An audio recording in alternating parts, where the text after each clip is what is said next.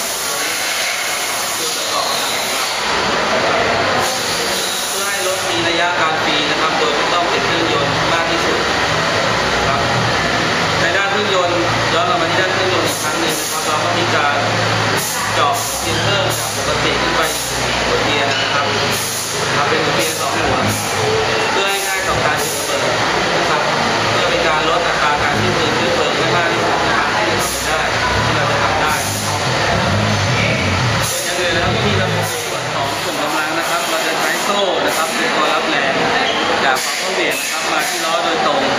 นะครับ แล้วก็เราก็จะมีตัวตัดต่อกำลังนะครับ เวลาเราต้องการใช้งานนะครับเราก็จะปล่อยนะครับ ให้ฟันตัวตัวนี้เข้าไปติดกับฟันเกลือที่ล้อนะครับถ้าเราต้องการตัดต่อกำลังนะครับ เราก็จะมีตัวที่เป็นทันทีทุกครับเลี้ยวนะครับ เราจะใช้แฮนด์เป็นลักษณะตรง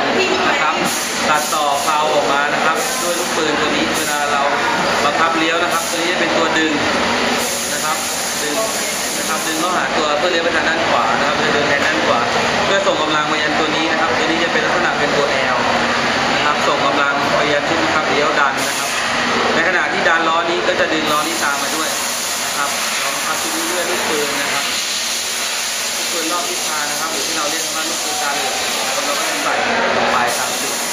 นะครับในขณะที่เราเลี้ยวซ้ายนะครับก็ทำงานเหมือนกันนะครับ ตัวนี้จะดึงให้กายเป็นดันนะครับทำงานสลับกันทั้งสองล้อตำแหน่งครับนี่ก็เป็น